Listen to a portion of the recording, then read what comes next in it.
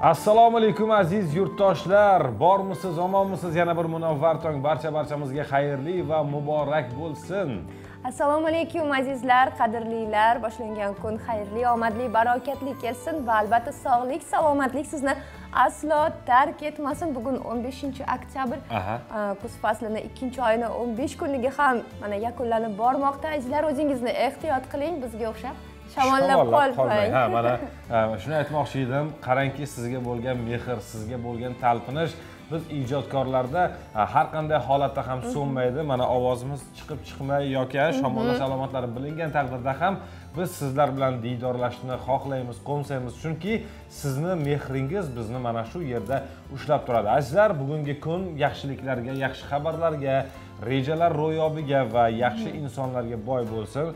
O'ylaymizki seshanba mana haftani ikkinchi kuni ish kunini va hafta so'ngiga qadar kecha bugun ertaga inson qanday kayfiyatda kunni boshlasa hafta so'ngigacha shunday davom etadi deyishadi to'g'rimi? Va bugun ham o'zgacha kun. Umuman har bir kunni o'zgacha kayfiyatda yaxshi kayfiyatda qarshi oling. Bugun bayram azizlar bugun xalqaro qishloq ayollari kuni. Mana shu munosabat bilan e, yurtimiz qishloqlarida istiqomat qilayotgan barcha aziz ayollarni tabriklaymiz. Bilasizmi o'n beshinchi oktyabr mana e, aytganingizdek qishloq ayollari e, xalqaro qishloq ayollari kuni ekan. Sanaga ko'zim tushgan zahoti birdaniga oyim ko'zim oldiga keladilarda. Chunki oyim ham o'sha samarqand viloyati tayloq tumani sochaq qishlog'ida istiqomat qiladilar va hamma qishloq ayollari kabi erta tongdan turib bizga nonushta tayyorlab o'sha bolalikda non yopib ana undan keyin hech narsa bo'lmaganda yana kiyinib maktab tomon o'zlarini sevimli ishlariga maktabda o'qituvchi bo'lib ishlaydilar mhm. hamda kutubxona mudiri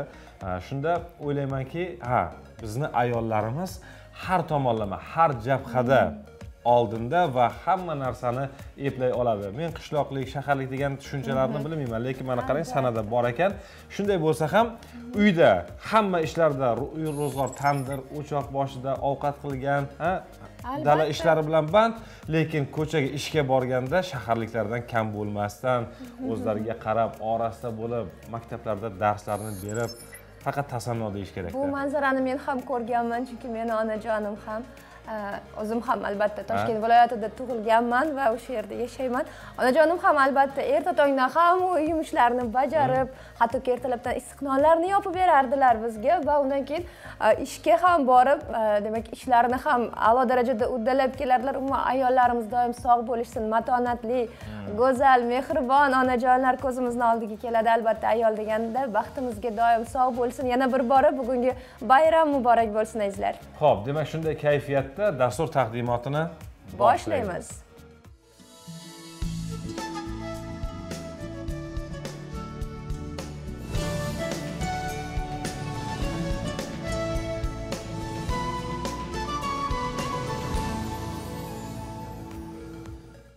Azizlar dasturimiz davom etadi.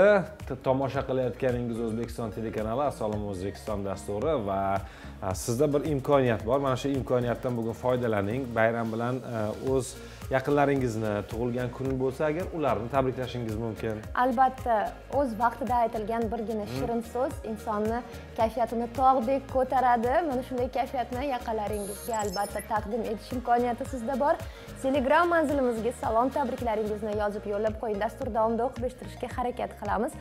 Ana endi hammani ertalabdan o'ylantiradigan savol bor. Bugun qanday ob havo bo'lar ekan? Qanday kiyinsam ekan? Ayniqsa ishga o'qishga otlanayotganlar uchun hozir ob havo ma'lumotlarini taqdim etsak oybek? To'g'ri aytasiz ob havo ma'lumotlarini bilgan inson havoga kunga mos tarzda kiyinib ko'chaga chiqadi. Yomg'ir yog'sa yomg'ir po'sh olishadi. Marhamat ob havo ma'lumoti bilan tanishing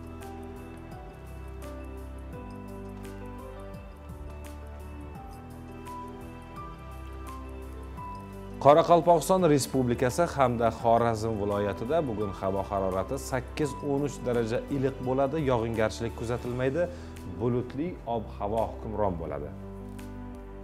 Buxoro hamda navoiy viloyatlarida bugun kunduzi o'n bir o'n olti daraja issiq atrofida bo'lishi kutilmoqda va yomg'ir yog'ishi ehtimoli mavjud. Jizzax samarqand sirdaryo toshkent viloyatlarida yomg'ir yog'adi. o'n uch o'n sakkiz daraja iliq bo'lishi kutilmoqda. Mana demak vohaliklar jizzax samarqand sirdaryo toshkent viloyatlarida istiqomat qiluvchilar albatta yomg'irpo'sh olishlari darkor albatta.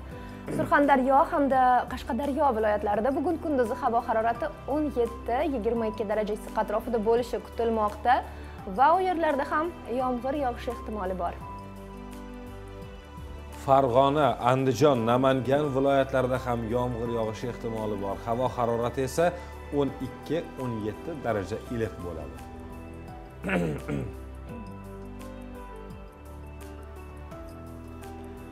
Va poytaxtimiz toshkent shahrida bugun kunduzi havo harorati 13-15 daraja issiq atrofida bo'lishi kutilmoqda. Yomg'ir yog'ishi ehtimoli mavjud. Demak yurtimiz bo'ylab bugun kun davomida yomg'ir yog'ishi mumkin ekan va albatta kecha ham hammamizni yomg'ir yog'ib xursand qildi. Bugun havo juda yam toza. Mana shu yomg'irdan keyin albatta sayrga chiqishni piyoda yurishni hech bo'lmasa sizga tavsiya qilamiz. Ishga o'qishga ketayotganda. Sizga yomg'ir yoqadimi? Yoqadi albatta. Sizga yoqmaydimi? Menga issiq kunlar yoqadi ko'proq. Men esa kuzni yaxshi ko'raman men yozni va mayli qishni ham qori qori bo'lsa qish ham yoqadi. Lekin yomg'irni unchalik yoqtirmayman. Sababi nima deydi endi hammani o'ziga yarasha xotiralari bo'ladiku. Yomg'ir bilan bog'liq menda ko'ngilsiz hodisalar bo'lgan ularni esdan chiqaring albatta esdan chiqaring va albatta har bir kunni yaxshi kayfiyat bilan boshlang va bugungi kun menga faqatgina baxt xursandchilik olib keladi deb o'zingiz ishoning va tortishish qonuni mavjud hayotda. O'zingizga chaqirib olasizlar yaxshilik haqida o'ylasangiz yaxshiliklar hayotingizga kirib keladi. Ayni damda esa keling o'n beshinchi oktyabr sanasiga bog'liq bo'lgan tarixda muhim sodir bo'lgan voqealarni taqvim sahifasi orqali bilib olsak. Marhamat azizlar taqvim birgalikda kuzatamiz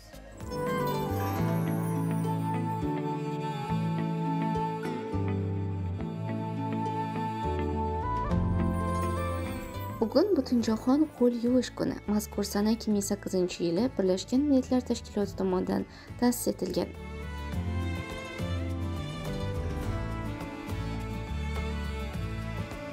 Shuningdek 15 oktyabr xalqaro qishloq ayollari kuni etib belgilangan. Ushbu sana 2007 yili birlashgan millatlar tashkilotining bosh assambleyasida ta'sis etilgan. Yurtimizda ham bu kun keng nishonlanadi.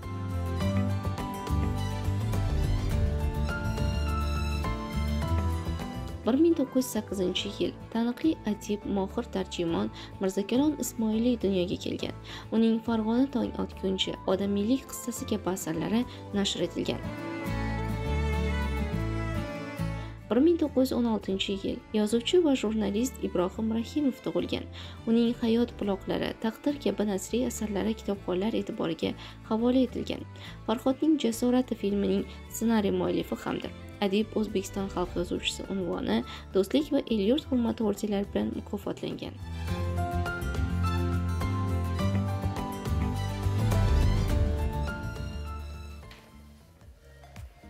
Xo'p, azizlar, taqvim bilan tanishib oldingiz va yana eslatib o'tamiz. Bugun o'z tug'ilgan kunlarini nishonlayotgan yoki xalqaro qishloq ayollari kuni bilan kimnidir tabriklamoqchi bo'lsangiz, demak, telefoningizni qo'lga oling va bizga SMS yo'llang. Dastur davomida uni o'z egalariga o'qib eshittiramiz. Ana endi mavzuni sportga buramiz, azizlar. Bugun Toshkent shahrida dzyudo bo'yicha demak, harbiylar o'rtasida jahon chempionati boshlanadi.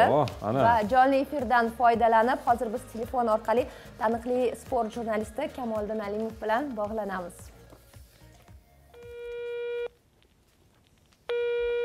Assalomu alaykum kamoliddin aka. Assalomu alaykum. Tong xayrli bo'lsin assalomu alaykum va alaykum assalom xayrli kun.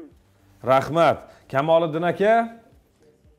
Labbay dzyudo bo'yicha harbiylar o'rtasidagi 42 jahon chempionatiga qanday hozirlik ko'rildi? Qancha davlat sportchilari yetib keldi? Shular haqida boshlasak suhbatni katta rahmat.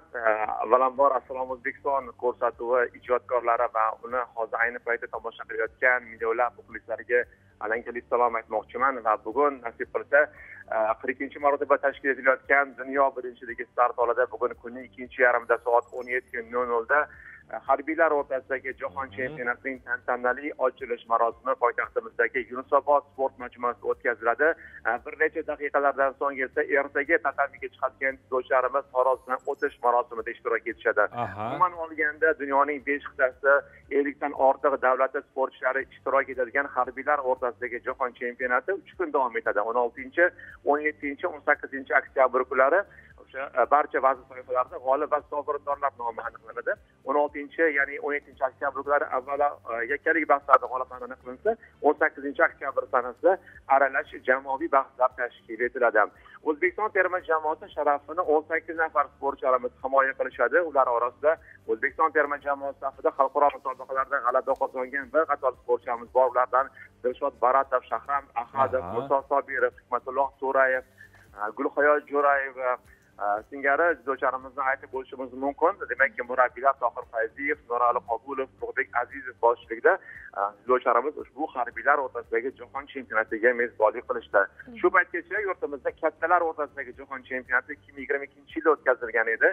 Endi esa navbat harbiylar o'rtasidagi jahon chempionatiga kelmoqda. Demak yurtimiz mana shunday katta nufuzdagi musobaqalarga mezbonlik qilyapti o'ylaymizki sekin asta biz osiyo o'yinlariga ham yetib boramiz qadrli kelasi yili ikki ming yigirma beshinchi yilda yoshlar o'rtasidagi osiyo o'yinlariga poytaxtimiz mezbonlik qiladi. Nasib qilsa balkim bundan keyingi kattalar o'rtasidagi osiyo o'yinlariga yurtimiz mezbonlik qilsa ajab emas. Rahmat. Sportchilarimizga omad tilaymiz albatta. Kamoliddin aka mana endi sport mavzusiga e'tiborimiz qaratilgan ekan albatta. Futbol bo'yicha terma jamoamizni bugungi demak o'yinlari haqida ham bizga ma'lumot berib o'tsangiz. Albatta bugun o'sha butun millionlab muxlislarning diqqat e'tibori poytaxtimizdagi bunyodkor stadioniga qaratiladi. O'zbekiston milliy terma jamoasi juda ham muhim bo'lgan uchrashuvda birlashgan arab amirliklar terma jamoasiga qarshi maydonga tushadi. Ushbu uchrashuv jahon chempionati yo'llanmasi uchun kesak emas boisi bizning asosiy raqiblarimizdan biri aynan birlashgan arab amirliklari terma jamoasi bo'lib turibdi. Hozir e, terma jamoasi bugungi uchrashuv oldidan eron bilan bir xil yettizini ochko jamg'argan birlashgan arab amirliklari hisobida to'rt ochko bor. Agar g'alaba qozonadigan bo'lsak nasib qilsa bugun biz e, ochkolarimizni o'ntaga yetkazib olamiz va eng asosiy raqiblarimizdan biri o'sha qatar va e, birlashgan arab amirliklari terma jamoalaridan o'zib ketish imkoniyatiga ega bo'lamiz. Demak bugun soat o'n to'qqiz nol nolda bunyodkor stadionida o'zbekiston va birlashgan arab amirliklari terma jamoalari o'rtasidagi uchrashuvni tomosha qilishga barcha muxlislarimizni taklif qilib qolamiz. Agar zarurat yuzasidan kela olmaydiganlar bo'lsa albatta o'zbekiston milliy teleradiokompaniyasi kompaniyasi sport telekanali orqali mana shu uchrashuv jonli efirda namoyish etiladi va bugungi o'yinni xitoylik hakamlar brigadasi boshqarib borishini ham aytib o'tamiz. Va yana bitta ma'lumot o'zbekiston milliy terma jamoasi to'rt kun avval aynan bunyodkor stadionida asosiy raqiblari biri eron bilan durang o'ynagan edi. Ya'ni uchrashuvda hisob ochilmaganda bugun eron terma jamoasi dohada dubayda o'tkazilgan uchrashuvda qatar terma jamoasiga qarshi maydoniga tushadi. Demak bir biridan qiziqarli uchrashuvlar bugungi oqshom yonishi aniq muxlislarimiz ekran qarshisiga yoki stadionga taklif qilib qolamiz. Rahmat futbolchilarimizga omad tilaymiz. Sizga esa kuch quvvat kuningiz mazmunli o'tsin. Yetkazgan ma'lumotlar uchun tashakkur sog' bo'ling. Rahmat kattakon ho'p azizlar ana endi o'ninchi o'n to'rtinchi oktyabr kunlari buxoro viloyatida qo'l jangi bo'yicha jahon chempionati musobaqalari bo'lib o'tdi. Tafsilotlar bilan muxbirimiz hamid g'afurov lavhasida tanishib olamiz. Marhamat. Yoshlar va o'smirlar o'rtasida o'tkazilgan navbatdagi jahon chempionatiga qadimiy buxoro shahri mezbonlik qildi. Murosasiz kurashlar yakunida mamlakatimiz terma jamoasi eng ko'p medal jamg'arib umumjamoa hisobida birinchi o'rinni egalladi. 37 ta medal jamlanmasi uchun kechgan 32 ta bahsda hamyurtlarimiz qo'l jangida o'zlarining nimalarga qodir ekanliklarini namoyish etdilar. E'tiborli tomoni hal qiluvchi bellashuvlarda sportchilarimiz puxta tayyorgarlik ko'rishganini amalda isbotladilar. To'liq tarkib bilan ishtirok etgan vakillarimiz 90 foizlik natija ko'rsatishgani ham tarixiy yutuqlarimizdan biri bo'ldi. Aytish joiz dunyoning 330 nafarga yaqin qo'l jangi ustalarini bir davraga jamlagan musobaqa har bir ishtirokchida katta taassurot qoldirdi. Mana bu musobaqada birinchi o'rinni oldim. Bundanda katta musobaqalar bor oldinda hali osiyo o'yinlariga ham harakat qilamiz katta tayyorgarlik ko'ramiz. Maqsad xudo xohlasa kelajakda dunyodagi eng katta ligaga chiqish. Hindiston va xitoy terma jamoalari ham kuchli tarkib bilan kelishgan edi. Ammo so'nggi kun natijalariga ko'ra kuchli uchlikdan o'zbekiston qozog'iston va qirg'iziston vakillari joy egalladilar. This competition is very good and uh, very uh, well prepared. bu musobaqa menga juda ham yoqdi. O'zbekistonda bu jahon chempionatiga juda katta hozirlik ko'rilgan ekan ayniqsa qadimiy buxorodagi bu muhtasham saroyda muhit juda ham ajoyib. Mehmondo'st xalq. Ajoyib sharoitlar hammasi e'tirofga arziydi. Quvvat jamoasi uchun bu musobaqada ishtirok etish juda katta tajriba bo'ldi. Sportchilarimizning tajriba almashishda chempionat katta maydon vazifasini o'tadi. Umid qilamanki kelasi yili osiyo o'yinlarida quvayt terma jamoasi ham yaxshi natijalar ko'rsatishadi. Kelasi yili mamlakatimiz mezbonlik qiladigan osiyo o'yinlari tarkibidan joy olgan qo'l jangi sport turi mintaqada jadal sur'atlar bilan rivojlanib boryapti. Biz o'zbekiston terma jamoasi qo'l jangi sportchilari mana buxoroda bo'lib o'tayotgan jahon chempionati musobaqasida namangan viloyatidan sportchilarimiz bilan qatnashdik. Sportchilarimizdan uch nafari barcha raqiblar ustidan g'alaba qozonib o'zbekiston bayrog'ini yuqorilariga ko'tarib birinchi o'rinlarni olib jahon chempioni bo'lishdi. Qo'l jangi musobaqasida dunyo birinchiligi yurtimizda sportga qaratilayotgan yuksak e'tiborning yaqqol namoyishi bo'ldi. O'z navbatida bu borada munosib infratuzilma yaratilayotganligi musobaqa nufuzini yanada oshirdi. Hamida g'afurov mirshodjon sharipov assalom o'zbekiston dasturi uchun buxorodan maxsus tayyorlandi. Azizlar dasturimiz davom etadi. 15 oktyabr xalqaro qishloq ayollari kuni bayrami ekan albatta bayramingiz muborak bo'lsin aziz ayollar. Sizlarni qutlash uchun bugun studiyamizga ajoyib mehmon taklif qilganmiz. Xalq sevgan san'atkor ustoz san'atkor o'zlarini go'zal ijrolari betakror ovozlari bilan muxlislar qalbini zabt etgan o'zbekiston xalq artisti zamira xonim suyunova. Assalomu alaykum. Assalomu alaykum. Assalomu alaykum. yaxshi keldingizmi rahmat. Tong xayrli bo'lsin. Bayram ekanda bugun yana navbatdagi bayram. Haqiqatdan bizni yurtimizga bayramlar yarashgan yurt. Shuning uchun e, har bir kunimiz bayramday bo'lsin. Rahmat. Ana endi e, ijodkorlarda baribir bayramga tuhfa bo'ladi to'g'rimi? Sizdan bir go'zal tarona eshitsak tinglasak. Albatta e, qayoqqa bormasak baribir hattoki sharoit yo'q joyda ham Ha. ikki og'iz bir narsa bir ashula bir xirgoyi qilib berishimizga to'g'ri keladi bugun esa bugun esa albatta bir nechta taronalar ijro etiladi shunaqami man nazarimda shunaqa deb o'ylayapman ssenariy bilan tanish emasman lekin shunday bo'lsa kerak deb o'ylayapman kelga- kelganingiz o'zi bir baxt endi sizdan faqat bir to'rtta beshta qo'shiq tinglaymiz bugun rahmat marhamat marhamat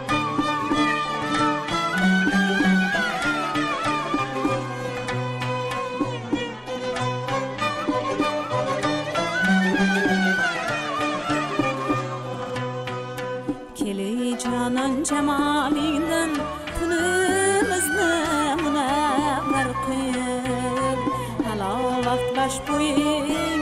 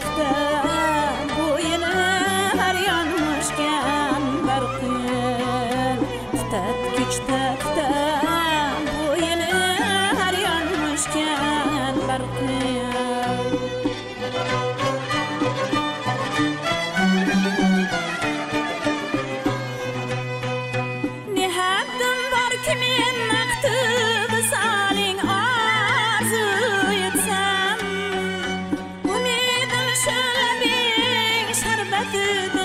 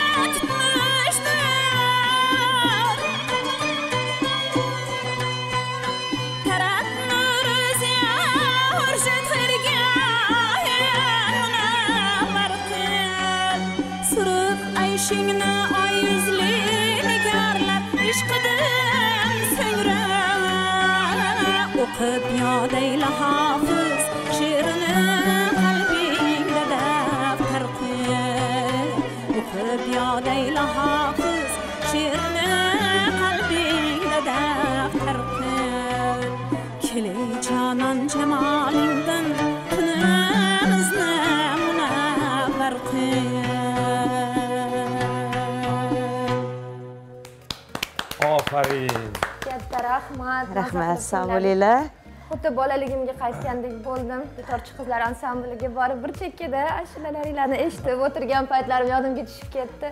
Haqiqatda ham mana bugun xalqaro qishloq ayollari kuni va ayollar qalbini o'zi tushunish e, ayolni qalbiga yo'l topish oson emas siz esa ko'p yillar davomida dutorchi qizlar ansamblini katta bir ansamblni ayollar qizlardan iborat bo'lgan ansamblni boshqargansiz va har birini qalbiga yo'l topa olgansiz mehribon rahbar bo'lgansiz. Shuning uchun bugun sizni ham bayramingiz va umuman mana shu qishloq ayollari deganda ko'zingizni oldiga kim birinchi bo'lib keldi? Endi avvalo yana bir bora e, bizni tomosha qilib turgan tomoshabinlarga xayrli tong deymiz. E, mana shu e, bugungi ko'rsatuvda ishtirok etayotganimdan bugun tomoshabinlar bilan diydorlashayotganimdan juda xursandman. Endi o'zim qishloqda tug'ilganman-ku. Shuning uchun ham qishloqdagi hayot ayollarni hayotini hammasini yuz foiz bilaman deb mubolag'asiz ayta olaman.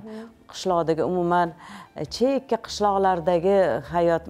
O'sha bizni man tug'ilgan qishlog'im qashqadaryoni bir tog'li e, chekka qishlog'idada lekin to'g'ri e, o'qish davrlar hattoki maktab ham ana undan keyin oliy ta'lim oliygohlar hammasi toshkent shahrida markazda bo'ldi o'n yoshimdan. Lekin baribir orada e, ta'tillar bo'lardi. E, o'shanda baribir e, o'sha uy bilan bog'liq bo'lgan borib kelib xullas qishloq bilan shaharda hayotini hattoki taqqoslab shaharliklar qanday bo'ladi qishloqliklar qanday mana shu hamma holatlarni bilamanda hattoki mana maktabda o'qib yurganimizda toshkentlik dugonalarim bizni sinfdoshlarimiz hammasi shaharlik edi o'sha qishlog'imizga olib borganman. Ular umrida ko'rmagan bunaqa tog'li qishloq chekka qishloq. Kechagina shu ko'rishgan edik o'rtoqlarimiz dugonalarimiz bilan o'sha paytlarni esladik qishloqdagi endi qishloqda e, nima desam bo'ladi ayollar qizlar o'rgangan erta tongda turganidan e, bet qo'lini yuvadiyu o'zini vazifasi bor. Bolalarni ham kattalarni ham o'zini vazifasi bor.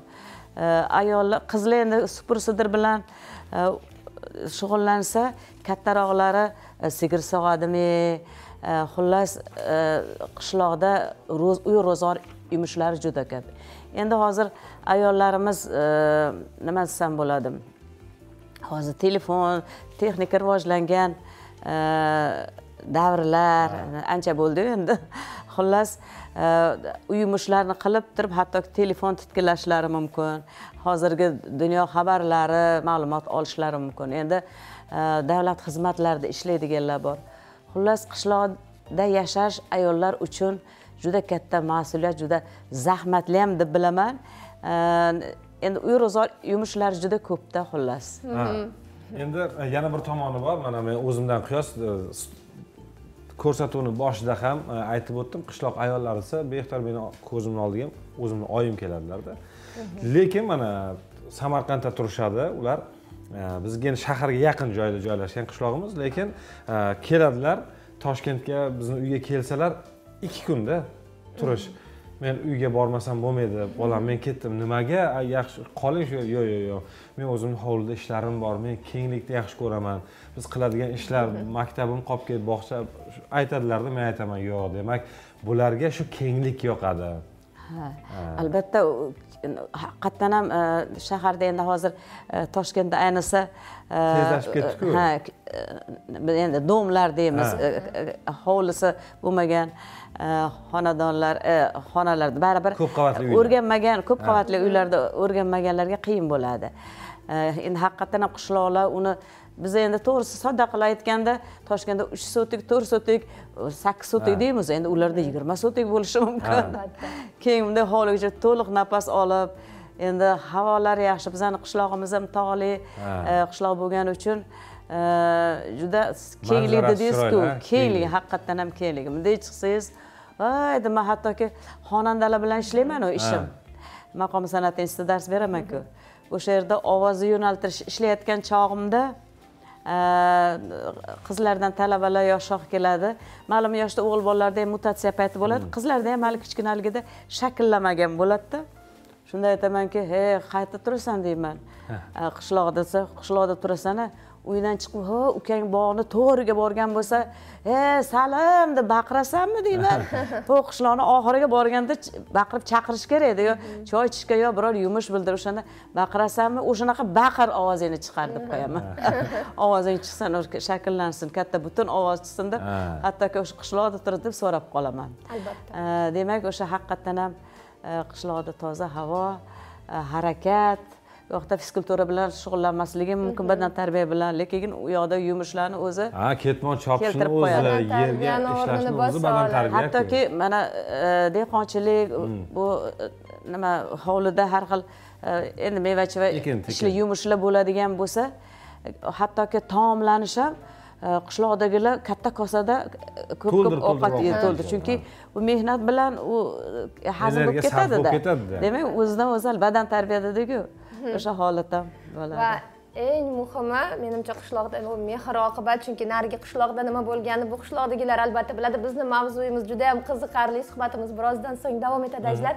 Hozir bizda lavha bor aynan e, badan tarbiya haqida gapirdik sport mavzusiga bog'liq hamkasbimiz faxriddin samadov tayyorlaganlar. Keling birgalikda tomosha qilamiz. Marhamat.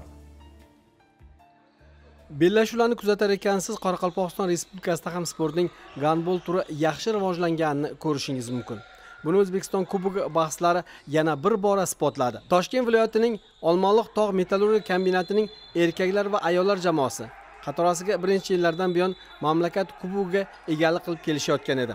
Qoraqalpog'istonlik gandbol ustalari ikkala birinchilikda ham ishonchli o'ynab poytaxt viloyati vakillarining an'anasiga chek qo'yishdi va o'z tarixida ilk bor o'zbekiston kubogini qo'lga kiritishdi. Natijalarga to'xtalamiz. Ayollar birinchiligida arzu xalmatov murabbiyligidagi qoraqalpog'iston respublikasi jamoasi shohsupaning eng balandiga ko'tarildi. Ikkinchi o'rinni vladimir muminov shogirdlari sanalgan toshkent viloyati sportchilari qo'lga kiritishdi. Uchinchi o'rin esa mashhura muhammedova qo'l ostida shug'ullanayotgan samarqand viloyati jamoasiga nasib qildi. Erkaklar jamoalari o'rtasida bosh sovrin azamat sharapov murabbiylik qilayotgan qoraqalpog'iston respublikasiga nasib qilgan bo'lsa hasan qayumov shogirdlari sanalgan toshkent viloyati jamoasi ikkinchi o'ringa munosib ko'rildi. Uchinchi o'rinni allabergan sharif qo'l ostidagi xorazm viloyati jamoasi qo'lga kiritdi. O'zbekiston kubogining tantanali yopilish marosimida g'olib va sovrindor bo'lgan jamoalar tashkilotchilar tomonidan munosib taqdirlanishdi. Xo'sh bizda yana bir suhbatdosh kelib davramizga qo'shildilar azizlar. Mehmonimizni tanishtirib o'taman. Tibbiyot fanlari nomzodi dotsent toshkent viloyati yangiyo'l tumanidagi fidoyi tadbirkor ayollardan biri mo'tabar ayol ko'krak nishoni sohibasi shabbon zaripova. Assalomu alaykum. Assalomu alaykum. opa. Ko'rganimizdan xursandmiz. Tong xayrli bo'lsin. Sizlarga ham birga yurtdoshlarim bilan salomlashib olishingiz mumkin. Assalomu alaykum. Hammaga hammalaringizni bugungi bayram bilan tabriklayman. Sog' bo'linglar. Hech qachon dard ko'rmanglar. Ha a, azizlar e, hayron bo'lmang. E, biz chunki mana zamira opam bilan shabon opani birgalikda taklif etgandik. Endi zamira opamni biroz oldin taklif qilganimizga ko'ra mana ikkalalari ham suhbat bo'lib hozir suhbatni birgalikda olib borishadi. Va ora orada e, mana shu ustoz san'atkordan bir biridan ajoyib bo'lgan taronalarni tinglaymiz. Kadr ortida e, salomlashib tanishib ulgurdingiz degan rosa gaplashib o'tirishdi. Albatta. E, endi haligi salom alaykum e, muomala kaliti deydiku. Ha. O'sha uchun ham bizni xalqimizda udumlarimizda qadriyatlarimizda o'sha salom alik birinchi o'rinda turadi. Bolalarimizga kichikligidan o'rgatamiz u hattoki gapira olmasa kichkinalarimiz bunday qiladi. Bunday qiladi, ha. shunda bir narsa esimga tushib ketdi. Odam yoshi katta bo'lsa sergapiroq bo'lib qolar ekan. Kichkina qizim kichkina edi shu kichkinaligidan shu salomga o'rgatganmiz hali gap bilmaydi. Eshik jiringlaganda yugurib borib salom qilardida kelgan mehmonga hali kichkina. Bir mahal shu eshik e, eshikni oldiga jiringlasa borib salom qilsa eshik ochib kelsa taq qilib boshiga eshik tekkan paytlari ham bo'lgan. Shunchalik kichkinaligidan bolalarga salomni o'rgatamiz va muomalaga. Yaxshi. Endi komila shabon opa mana qarang studiyaga quruq kelmaganlarda men shu qiziqyapmanda. Bu nima bular shabon opa? Ha, buni bildim asalligini lekin bu narsa nima ekanligini bilolmayapmanda. Bu propolis. Mana bu. Ha, o'sha ham propolis. Bankani ichida ham eritilgan propolis. Ha bu nimaga? Bu hamma dardga davo. Ayniqsa bolalarga ozginagina nonga shimdirib berilsa ikki tomchilab gijjalarga и immunitetni ko'taradi. Keyin yazva kasalliklarga ham judayam yara yaxshi kasalliklarda ha Ha. gastrit yazvalar boru Tushundim. o'shalarga ham judayam foydali. A, buni propolisni mana mana bu yerda e. anaqasi ham bor. Mana. Bu azal ko'rishinglar mumkin. Bu qanday propolis bu? bu anaqasidan olinadi.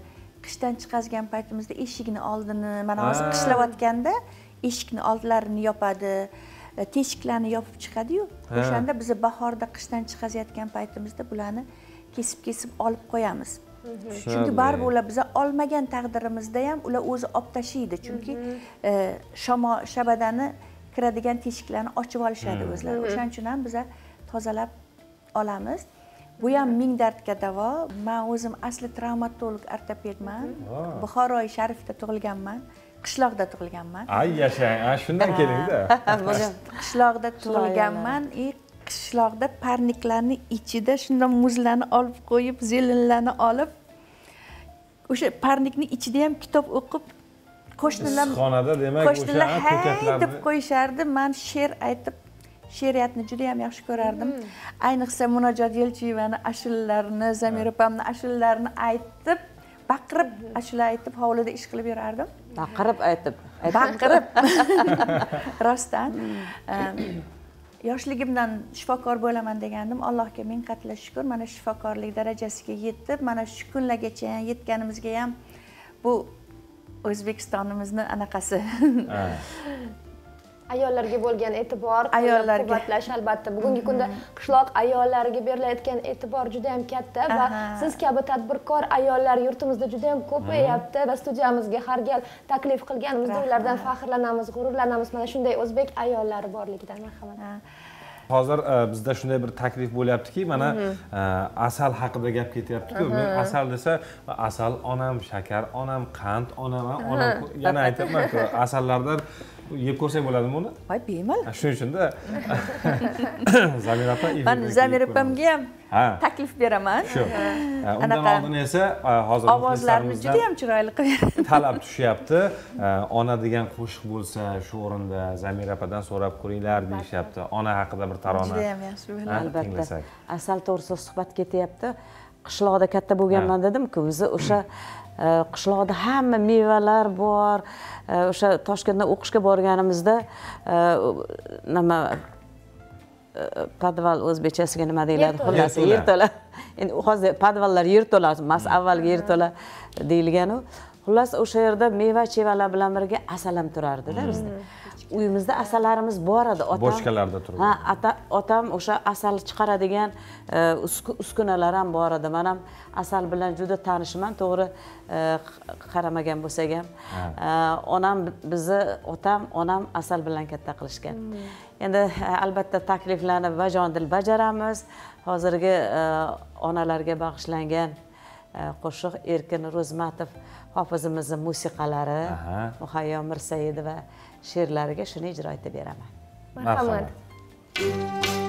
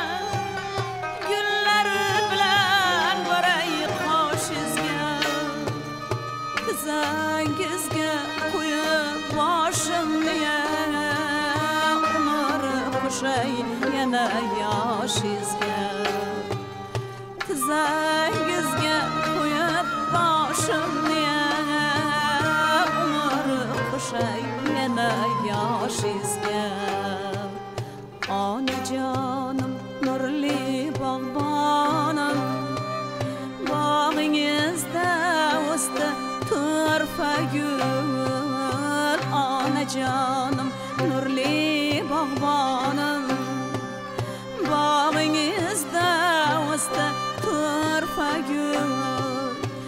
siz borlig'im siz tanda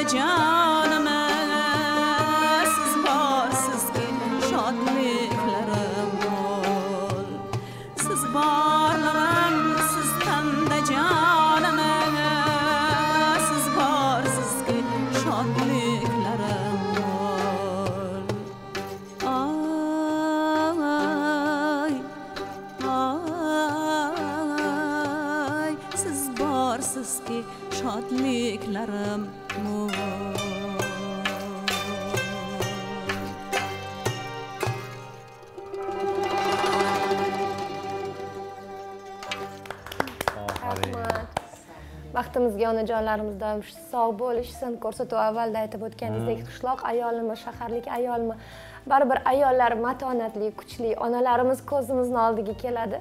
Doim baxtimizga sog' bo'lishsin onajonlarimiz go'zal ijro uchun katta rahmat. shabona opani ham mana ona ko'zlariga yosh keldi ko'zlariga yosh keldi qalqidi ha.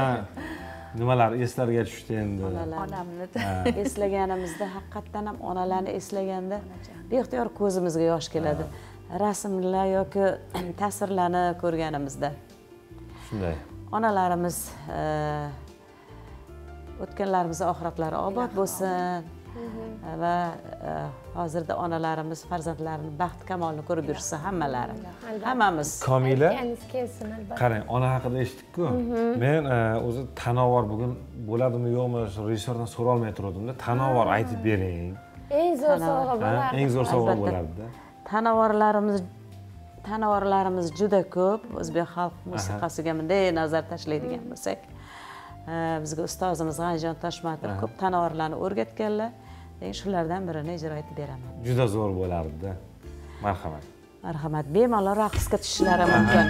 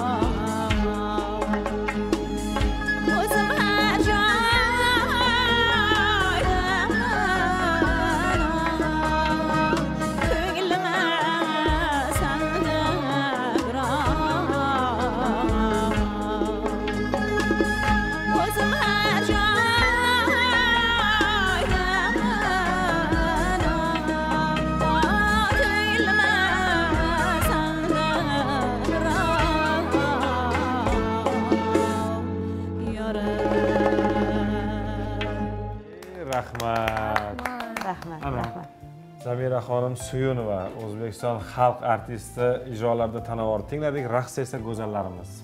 Rahmat. Rahmat. Sizlarga ham. Albatta raqssiz e, kuy qo'shiqsiz. Albatta. hayotimiz tasavvur qilib bo'lmaydi. Ayniqsa ertalab tongda kuy qo'shiq raqs bo'lsa xudo xohlasa kunimiz chiroyli o'tadi. Ho'p bo'ladi. Hali yana sizdan e, final qo'shig'ini tinglaymiz. Unga qadar esa bugun bayram dedikku bayram bayramdek bo'lsin deb mana bizda e, tabriklar jo'natishgan. Bugun tug'ilgan kuni va aynan shu qishloq ayollari kuni bilan muxlislarimiz sms yo'llagan ruxsatinglar bilan bir ikkitasini tez o'qib beraman.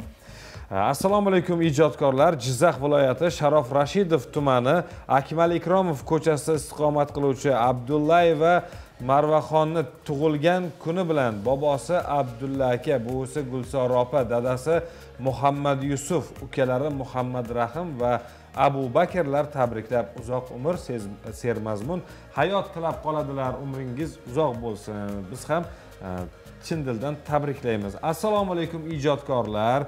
Bugun samarqand viloyati tayloq tuman nurafshon mahallasida yashovchi kelinimiz xurshidaxonni tug'ilgan kuni bilan tabriklaymiz. Kelinimizga uzoq umr sog'lik salomatlik.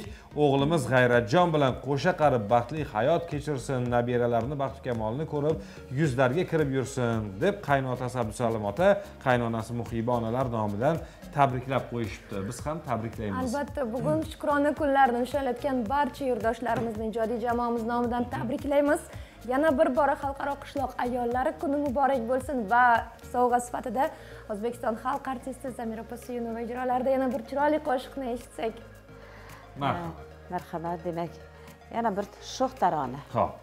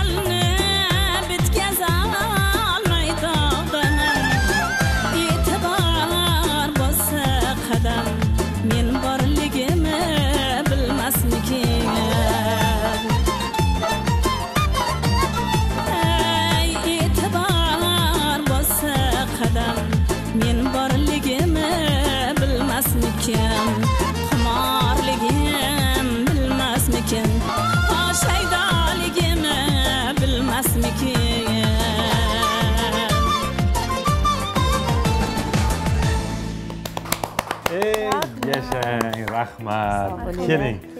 Ho'p ana endi bitta ish qoldi. Mhm. shabon opadan e, ustoz san'atkorimizdan ayollarimizga va butun o'zbek xalqi uchun bir tabrik va ikki og'iz yaxshi niyatlarni eshitsak. Marhamat. Qishloq ayollarimiz uchun. Shabon opa sizdan boshlaylik. Sizni yeru osmon falak asrasin dasturxon ustida duo asrasin. Sizni yeru osmon falak asrasin. Dasturxon boshida do asrasin.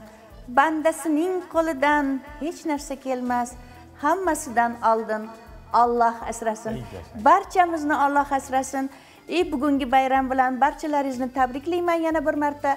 Hech qachon dard ko'rmanglar. Doim sog' salomat bo'lib doim safarlaringiz bexatar bo'lsin sog' salomat bo'linglar. Topganlaringizni esa yaxshi kunlaringizga ishlating yashang. Rahmat. samira opa men ham fursatdan foydalanib barcha ayollarimizni mana shu bayram bizni bugungi bayram bilan tabriklayman endi ayol uchun nima kerak? Avvalo shu oilaviy xotirjamlik kerak. Oilaviy xotirjamlik e, bo'lsa qolgan hammasi bo'ladi va mustahkam salomatlik tilayman. O'zlaringizga qarab chiroyli o'ynab kulib farzandlarga albatta bir chiroyli tarbiya berib farzandlarni baxti kamolini ko'rib yuringlar aziz e, hamqishloqlar Yashang. va qishloqdosh ayollarimiz. Komilaxon Aytganingiz kelsin juda ham chiroyli tabriklar bo'ldi. Bu tabriklardan keyin inson nima deyishni ham bilmaydi lekin qalbdagi e, nima deydi e, aytadigan tilaklarimiz bor albatta. Ayollar doim sog' bo'ling baxtli bo'ling. Yuzingizdan hech qachon tabassum arimasin baxtingizga ko'z tegmasin. Yana bir bora xalqaro qishloq ayollari muborak bo'lsin. Demak e, mana shunday bayramona kunda bayramona efirda siz bilan ko'rishib turganimizdan benihoya mamnunmiz azizlar. Lekin bizga ajratilgan vaqt mana shu yerda o'z nihoyasiga yetib kelyapti. A, biz bugungi xalqaro qishloq ayollari kuniga bag'ishlangan bayramona dasturimizni o'z nihoyasiga yetkazamiz. O'zingiz va yaqinlaringizni ehtiyot qiling. O'zbekiston telekanalida qoling. Dasturni esa 15:00 da takroran ko'rish imkoniyati sizda mavjud. Xayr salomat bo'ling. Omon bo'ling. Rahmat. Rahmat